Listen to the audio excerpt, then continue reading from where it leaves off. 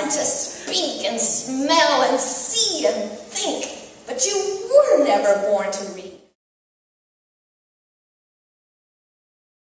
You see, what we build is a circuit. This information comes, crosses over, and we build an enormous circuitry.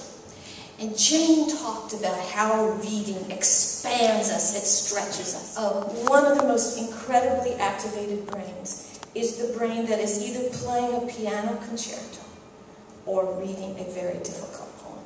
So much of what we do is this act of an ever enlarged circuitry.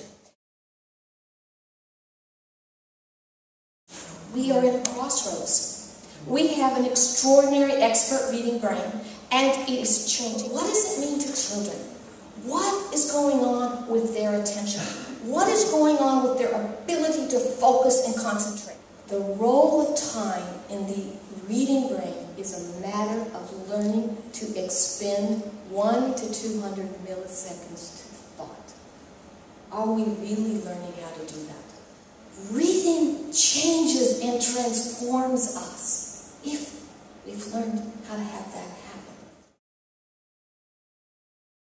It's our inference. It's our ability to make analogies. It's our ability to connect thoughts across time and distance. It's our ability to have insights. You just go somewhere outside yourselves. And that, for me, is an underpinning of what a society should do because it gives us a chance to be wise. And wisdom is the basis of.